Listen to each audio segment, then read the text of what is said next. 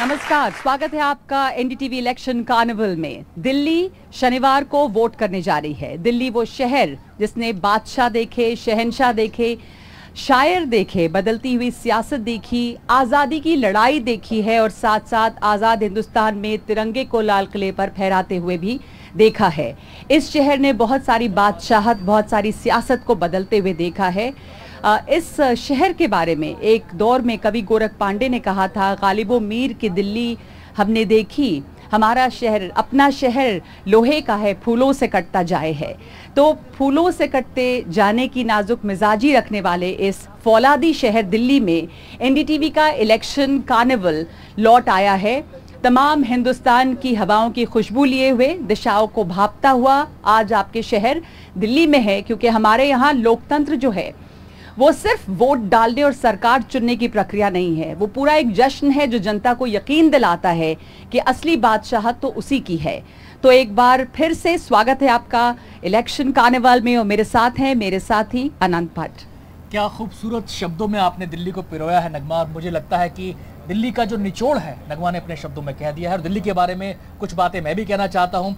दिल्ली को मैं केवल एक शहर नहीं मानता, दिल्ली को मैं मानता हूँ भारत का आईना। हिंदुस्तान का दिल और इंडिया का गेट। जी हाँ मिनी भारत की तस्वीर आपको दिल्ली में मिल जाएगी। तो अगर आप जानना चाहते हैं, समझना चाहते हैं कि भारत क्या सोच रहा है तो बार दिल्ली का भ्रमण कर लीजिए। आपको समझ में आ जाएगा कि भारत के दिल में क्या है। और जहाँ तक हमारे इलेक्शन कार्निवल की बात है तो आपको बताएँ कि 11000 से 11000 किलोमीटर से ज़्यादा का सफ़र इसने तय किया है। पचास से ज़्यादा शहरों में हम घूमे हैं और हम्म। कोशिश ये है कि हवा हवाई बातें ना हो ज़मीन पर रहकर जनता की नब्ज को पकड़ें और उसका क्या मिजाज है क्या उसका सोचना है क्या उसके मुद्दे हैं क्या वो सोच रहा है किसको वोट करेगा इसका एक अंदाज़ा आपको हम देख सकें और यही हमारी कोशिश है। इस कोशिश में हम कितने कामयाब हैं ये आप तय करेंगे। लेकिन आज हम दिल्ली में मौजूद हैं और कोशिश ये है कि दिल्ली का जो आबो हवा है सियासी उसके बारे में विस्तार से आपको बता सके। नगमा। बिल्कुल। सबसे पहले इलेक्शन कार्निवल का जो एंथम है एक तरह से, वो जो इसकी रग में बसा हुआ है अब तक, जो ये शहर शहर घुमा, पचास शहरों में गया, हिंदुस्तान के अलग अलग राज्यों में गया, ये इलेक्शन कार्निवल, इस धुन पर, इस धुन पर सजाने के लिए हमारे साथ कुछ कलाकार यहाँ मौजूद हैं। सबसे पहले, आप की शुरुआत करते हैं आज की इन कलाकारों के साथ।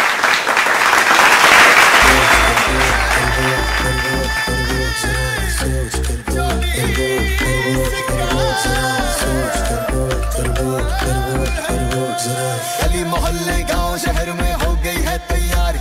मतदाता अब खेलेगा अपनी उंगली से पारी। तमाशा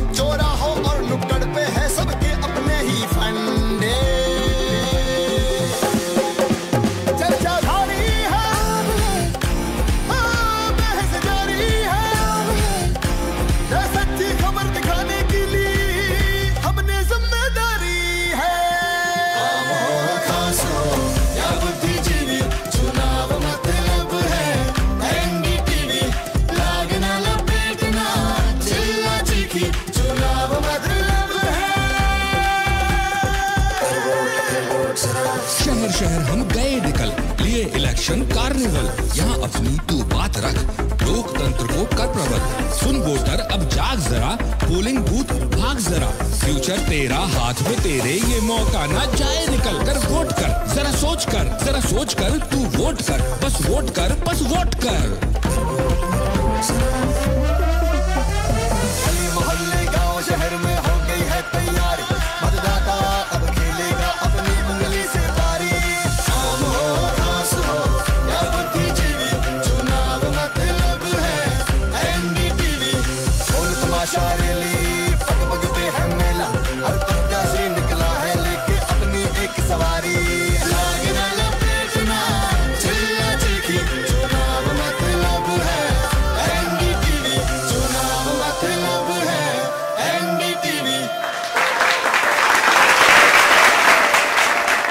बहुत बहुत शुक्रिया आपका।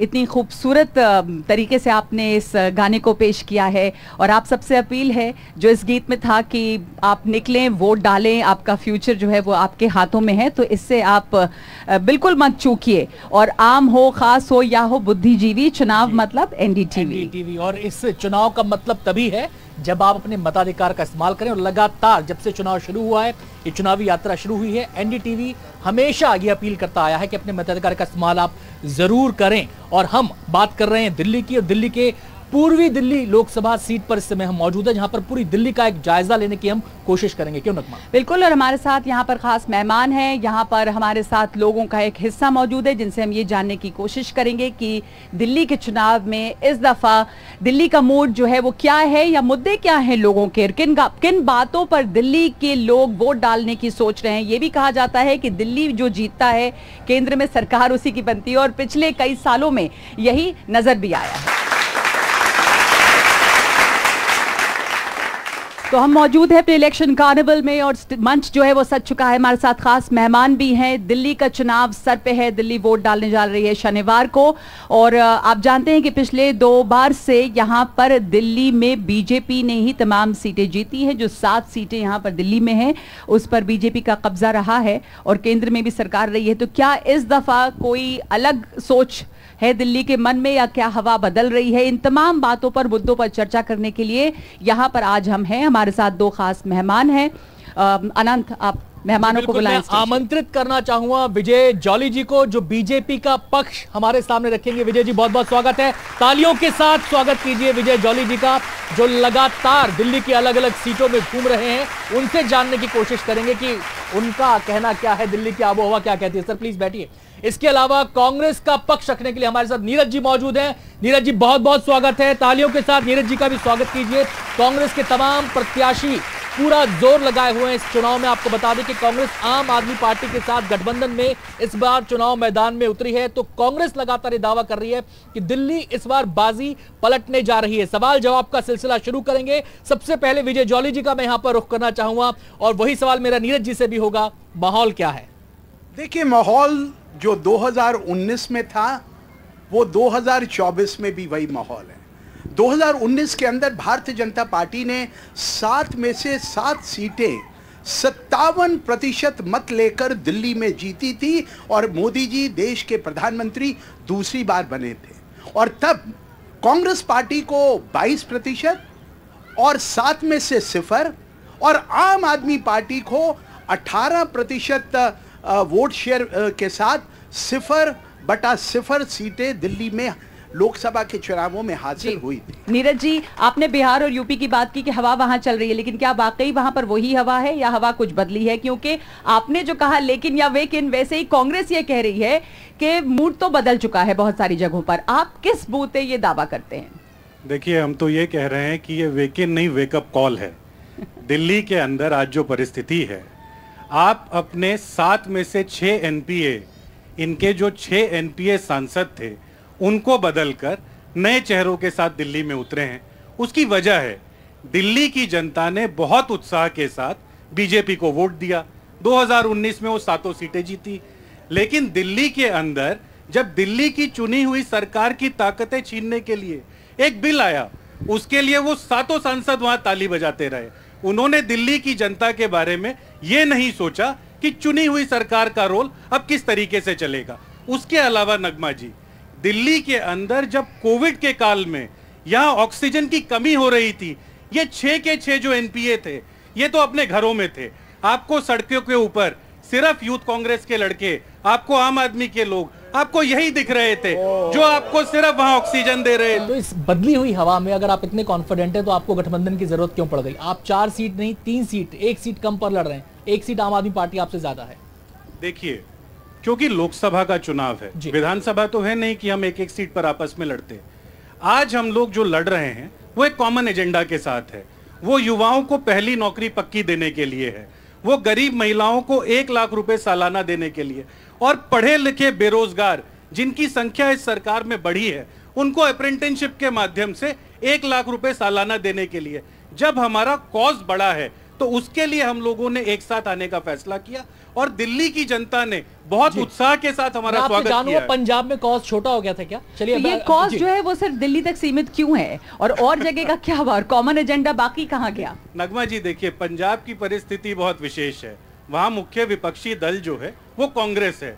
वहाँ पर जो पिछला चुनाव हुआ कांग्रेस ने आम आदमी को आईना दिखाया कि आपका कॉन्शियंस कांग्रेस आपको बताती रहेगी कि आपको सरकार कैसे चलानी है। एक प्रतिक्रिया विजय जी देखिए मैं ये। बताना चाहता हूँ अपने कांग्रेस के मित्रों को और देश की जनता को एक समय भारत के अंदर कांग्रेस पार्टी 500 से ज़्यादा सीटों के ऊपर चुनाव लड़ती थी। अब मेरे मित्र बता दें 2024 के चुनावों में कांग्रेस केवल और केवल 290 सीटों के ऊपर चुनाव लड़ने की बात कर रही है पार्टी और देश के अंदर पर चुनाव लड़ रही है। देश के अंदर एक नया शासन और सत्ता देने की बात कर रही है। मैं आप सबसे पूछना चाहता हूँ क्या राहुल गांधी इंडिया गठबंधन के प्रधानमंत्री पद के उम्मीदवार हैं या हिंदुस्तान के दोबारा से प्रधानमंत्री बनने के लिए नरेंद्र मोदी जी हैं। बताइए आप जनता बताइए। जनता से हम पूछने जाएँगे। विजय जी विजय जी। आपसे इन्होंने एक सवाल किया था कि दिल्ली में क्या ज़रूरत पड़ी थी आप लोगों को कैंडिडेट्स बदलने की? देखिए ये हर पार्टी का अपना इंटरनल मैकेनिज्म होता है।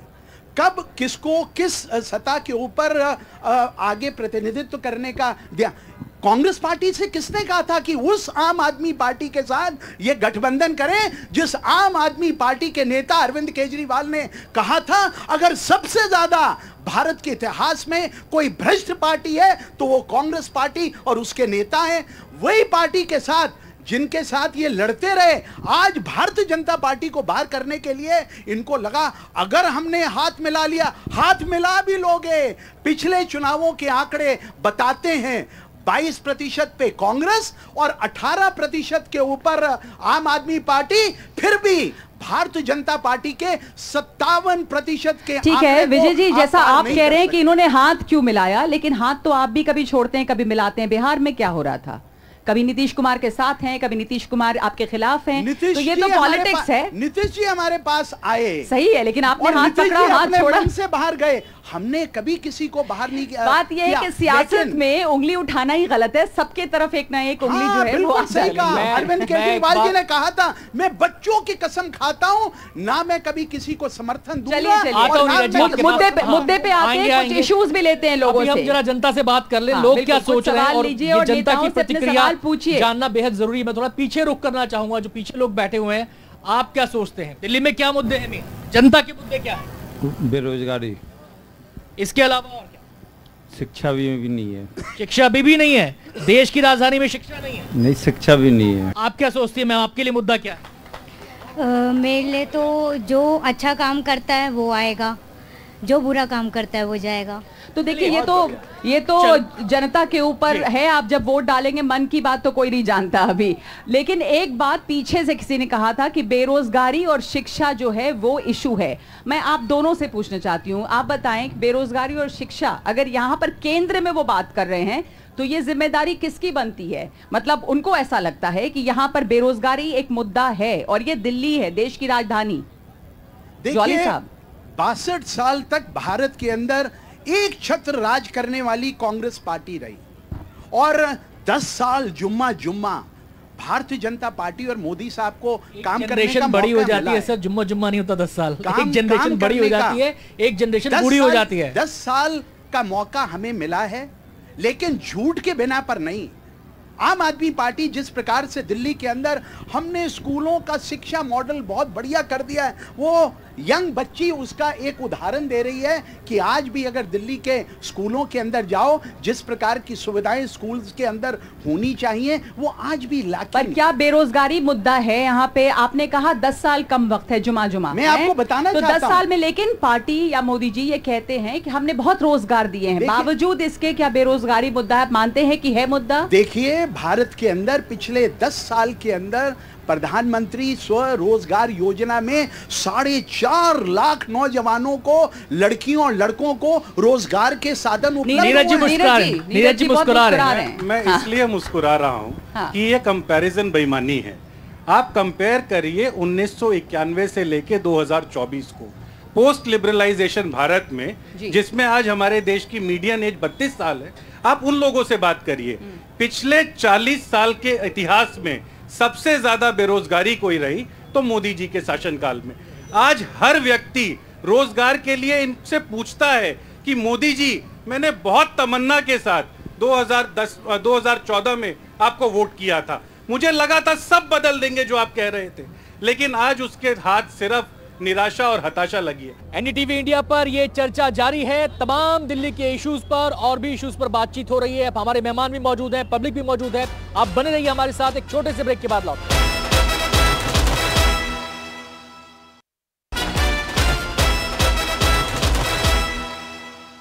आपने इनसे सवाल दागा कि आपके छह जो आपके सिटिंग सांसद थे आपने- Non-performing हाँ तो आपने उनको क्यों बदल दिया? भाई एक सवाल ये आपकी तरफ़ से भी आ सकता है आपकी तरफ़ भी आ सकता है कि चुनाव से एन पहले आपकी पार्टी के कद्दावर नेता, आपकी पार्टी के प्रदेश अध्यक्ष रहे, आपकी पार्टी के सरकार में कैबिनेट मंत्री रहे, वो सारे के सारे पाला बदल के बीजेपी के पास चले गए। अगर आप इतने क्लियर विजन के साथ चल रहे हैं, अगर आप इतने क्लियर इश्यूज़ के साथ चल रहे हैं, अगर आप जनता की नब्ज पकड़ पा रहे हैं तो फिर ये पार्टी में भगदड़ क्यों है? देखिए, हम क्योंकि दिल्ली में हैं तो दिल्ली में कहावत है कि यमुना में बहुत पानी बह चुका है। लवली जी अपनी पुरानी पार्टी में जा चुके हैं और उनके जाने के बाद आज जब इंडिया गठबंधन रैली करता है तो उसमें पाँच लाख से ज़्यादा लोग आते हैं। तो देश की जनता सुनती है, और आज दिल्ली की जनता ने ठाना है कि हमने दस साल पहले जो गलती की थी, अब उसको हम बदलने जा रहे हैं। देखिए, मैं इनको बताना चाहता हूँ, ये इंडिया गठबंधन, इंडिया अलायंस की बात करते हैं, जो लीडरलेस है, बंगाल के अंदर ये अपनी मित्रांगना ममता जी के साथ चुनाव के अंदर प्रतिपक्षी बन के लड़ रहे हैं। पंजाब के अंदर जो इंडिया गठबंधन की बात करते हैं, कांग्रेस और आम आदमी पार्टी वहाँ आपस में लड़ रही है। दिल्ली के अंदर आम आदमी पार्टी और कांग्रेस ने हाथ मिलाकर अपना गठबंधन कर कर कोई तीन लड़वा रहा है, कोई चार लड़वा रहा है। जिन्हों, जो पार्टी पूरे देश के अंदर 22 सीटें लेकर लड़ रही है आम आदमी पार्टी, वो कहती है, हमारा मुख्यमंत्री भारत का प्रधानमंत्री ये क्या दिखाता है कि डेमोक्रेसी कुछ ज़्यादा ही है कांग्रेस में? ये ये ये तो ये ये उसके ऊपर। यहाँ पर दावेदारी कर सकता है। और मैं और मैं बताना चाहता हूँ, जो तो आइन कुछ भी हो मैं अपनी बात पूरी हर चीज़ में डेमोक्रेसी लानी है। इंडिया और हम अलायंस- इन प्रिंसिपल मानते हैं। इंडिया अलायंस तो इसको आत्मसात है। तो। फासिस्ट हैं। अरविंद लवली जी का हम इस आइन को मानने वाले लोगों में हाँ, से हैं। ठीक आपने एक लाइन बोली आप अनार्किस्ट नहीं है हाँ, लेकिन हाँ। आम आदमी पार्टी के जो मुखिया वो एक जमाने में कहते हैं हाँ मैं अराजक हूँ देखिए, फिर वही बात कि अब तो बहुत साल बीत गए। अरविंद केजरीवाल ने जिस तरीके का शासन इस दिल्ली को दिया है, उसका फैसला अगले विधानसभा चुनाव में होगा। मेरा एक सवाल है सर आपसे। आपने, हमने शुरुआत की थी हवा बदलने से माहौल क्या है? तो आपने अपने आधार, अपने ज़रिए से कुछ बातें कही। मेरा उसमें एक सवाल है, ये जो हवा बदलने की बात कही जा रही है और इसका जो आधार, जो इसका तर्क दिया जा रहा है, वो ये कि विधानसभा में आप एक तरफा जीत हुई आम आदमी पार्टी की, उसके बाद म्यूनिसिपल कॉरपोरेशन दिल्ली नगर निगम, जो कि बीजेपी का गढ़ रहा, उसमें भी बीजेपी पिछड़ गई आम आदमी पार्टी से। अब आ रहा है लोकसभा का चुनाव तो कहा जा रहा है कि ये हवा बदलने के ही संकेत है। देखिए, मैं ये आपको भी बताना चाहता हूँ 2024 का लोकसभा का चुनाव, भारत का चुनाव है, राष्ट्र की अस्मिता का चुनाव है, राष्ट्र के गौरव का चुनाव है, भ्रष्टाचारियों को दूर करने का चुनाव है। और मैं कांग्रेस से पूछना चाहता हूँ, कोविड पीरियड के अंदर जब देश और दुनिया के लोग मर रहे थे, इनकी साथी पार्टी, आम आदमी पार्टी के नेता दिल्ली के अंदर सरल शराब नीति ला रहे थे, जहाँ पहले छह प्रतिशत दिल्ली के शराब के ठेकेदारों को कमीशन दिया जाता था, वहाँ कांग्रेस के साझा पार्टी, आम आदमी पार्टी के लीडर 12 प्रतिशत की कमीशन उनको दे रहे थे। मैं इनसे पूछना चाहता हूँ क्या क्या आप मैं इसका क्या आप क्या आपकी लीडरशिप इस प्रकार के भ्रष्टाचारी शराबखोरी करवाने वाले दिल्ली के मुख्यमंत्री अरविंद केजरीवाल का आज साथ देकर अपने आप को एक्सपोज कर रही है? इंडिया गठबंधन के साथी और खासकर कांग्रेस के पास ना तो बीजेपी का धोबी घाट है ना वॉशिंग मशीन है। चार जून को जब नई सरकार बनेगी जो मुकदमा जिस तरीके से चल रहा है वो मुकदमा वैसे ही चलेगा। और साथ में जॉली जी वो इलेक्टोरल बॉन्ड का महा घोटाला वो कोविड की नकली वैक्सीन और इस तरीके के जितने खेल हैं उनके ऊपर भी कार्रवाई होगी। क्या जो आपको कोविड की वैक्सीन लगी क्या वो नकली थी? ये- आप बताइए। ये तो आप आप अब अपने- अब बिल्कुल बिल्कुल बिल्कुल बिल्कुल जॉली जी। बिल्कुल जॉली जी। झूठ। जॉली जी। झूठ के पर नहीं होते। जॉली जी। प्रधानमंत्री की फ़ोटो। कोविड की वैक्सीन के ऊपर तो अब रिसर्चेज आ रहे हैं कि कहाँ पर किसकी एफिकेसी है। इसको हम हल्का ना बनाएँ क्योंकि लोगों के स्वास्थ्य से जुड़ा हुआ मामला है। और कोविड वैक्सीन चाहे वो कोवैक्सीन हो या कोविशील्ड हो अब उसके ऊपर बहुत सारे रिसर्चेज आ रहे हैं। आम आदमी पार्टी की एक सीनियर महिला लीडर स्वाति मालेवाल लगातार आरोप लगा रही है और कह रही है कि वो अकेली हैं उन्हें धमकाया जा रहा है वो लड़ाई लड़ेंगी। इससे छवि खराब नहीं होती आपके सहयोगी दल की और ये एक मुद्दा आपके लिए नहीं है गंभीर? नगमा जी, देखिए, सबसे पहली बात, कांग्रेस ने सबसे पहली प्रतिक्रिया प्रियंका गांधी जी के माध्यम से दी। और हमने ये सबको हिदायत दी कि आप डिमोनाइजेशन ऑफ़ कंप्लेनेंट नहीं करेंगे। जिन्होंने कंप्लेंट की, उनके बारे में कोई गलत बात नहीं करेगा। ये प्रियंका गांधी जी ने पहले दिन कहा। उसके बाद उन्होंने क्या कहा कि अब जब एफआईआर हो गई है तो law will take its own course हमने तो इस बात को सबके सामने रखा। लेकिन जॉली जी, बस ये बता दें कि जब कर्नाटक में प्रधानमंत्री जी, वो प्रज्वल रेवन्ना के लिए कहते हैं कि इनके जैसा व्यक्ति जब संसद में पहुंचेगा तो संसद को ताकत मिलेगी। तो महिला सुरक्षा की बात आप उस पार्टी से कर रहे हैं, जिसने देश को महिला सशक्तिकरण सिखाया। पहली महिला प्रधानमंत्री, पहली महिला राष्ट्रपति, पहली महिला स्पीकर हम लोगों ने तो इस देश के अंदर ये भी देखा नगमा जी एक बड़ी बात बोल देता हूँ। भ्रष्टाचार भी किया। हम मैं भ्रष्टाचार भी बात किया। बता देता हूँ। भ्रष्टाचार भी किया। अंदर निर्भया हुआ आप हमारा एम्पथेटिक अप्रोच देखिए। हमने उस बच्ची को सिंगापुर भेज के इलाज कराया। उसकी अगर सेहत ठीक नहीं हो पाई वो वापस लौटी उसके भाई को। ये राहुल गांधी ने कभी कहा नहीं था। बाद में मीडिया रिपोर्ट्स आई। राहुल गांधी ने उसके भाई को पढ़ाया उसको पायलट बनाया और आज उस परिवार को सक्षम किया। तो हम तो उस एम्पति के साथ चलते हैं। हम प्रज्वल रेवन्ना के समर्थक नहीं है। देखिए इनकी गठबंधन की पार्टी मुझे लगता है कि कुछ और यहाँ पर से भी हमें, स्वाति महिवाल के साथ जो बदतमीजी हुई उसके बारे में उसका ये भरसना नहीं कर रहे सर हैं। मैंने तो पहली लाइन में मुख्यमंत्री क्यों नहीं मैंने बोले तो बुलंद आवाज़ में पहली लाइन में कहा हाँ। कि कंप्लेनेंट को क्रिमिनलाइज करना या डिमोनाइज women, करना एक वो बिल्कुल गलत है। जनता के पास जा रहे हैं आप हाँ बैठिए जनता के पास जाइए जनता वहाँ के पे कुछ लोग खड़े हैं। मैं कांग्रेस पार्टी से ये पूछना चाहूँगी आप कहते हैं कि आपका बैठ जाएँ। बैठ जाएँ। तो आपका ये कैसा विजन है जो संदेश खाली की औरतों के लिए खड़ा नहीं होता जो दिल्ली की औरतों के लिए खड़ा नहीं होता और जो ये कहता है कि हम धर्म हाँ। के आधार पे आरक्षण देंगे? आ, आप अपना नाम बताएँगी आप शायद बीजेपी काउंसिलर हैं। जी बिल्कुल है क्या लेकिन मेरा नाम है सवाल मेरा नहीं, नाम नहीं। है मनीषा पूनिया। ओके। मैं आपसे ये पूछना चाहती हूँ कि एक तरफ़ आप कहते हैं कि हम कॉन्स्टिट्यूशन का सम्मान करते हैं हम उसमें बदलाव नहीं आने देंगे और दूसरी तरफ़ आप धर्म के आधार पर आरक्षण दे रहे हैं ये कैसा है? है, जवाब- दीजिए हाँ। सवाल ले ले पहले सवाल ले धर्म ले के नाम पर आरक्षण की नींव जो रखी गई वो इनके जो आज साथी हैं कर्नाटक में एच डी देवेगौड़ा साहब वो जब प्रधानमंत्री हुए तो कर्नाटक में पहली बार धर्म के नाम पर आरक्षण हुआ। और उसको इनकी सरकार खींचती रही। हम लोगों ने तो हमेशा कहा कि आरक्षण जो है वो सबसे ज़रूरी है। और फिर मॉडर्स ऑपरेंडी समझिए बीजेपी आज जो आपको सरकारी नौकरी नहीं मिलती वो इसलिए नहीं मिलती कि सरकारी नौकरी में आरक्षण देना पड़ेगा। ये जो हर चीज़ को प्राइवेट करना चाहते हैं वो आपके आरक्षण पर चोट करने की साजिश। मेरे पास अब वक्त इतना ही है इसलिए आप दोनों का बड़ा धन्यवाद। आप दोनों के आरोप प्रत्यारोप खत्म नहीं होने वाले हैं लेकिन आप जनता यहाँ नारेबाजी तो की पर वोट देने के लिए ज़रूर निकलिएगा क्योंकि जनता के हाथों में ही सबसे बड़ी ताकत है वोट की और असली बादशाह जो है वो जनता है। बहुत बहुत धन्यवाद आप जी सबका। बिल्कुल एक बार इसी अपील के साथ कि वोट ज़रूर कीजिएगा शनिवार को अपने मताधिकार का इस्तेमाल कीजिएगा।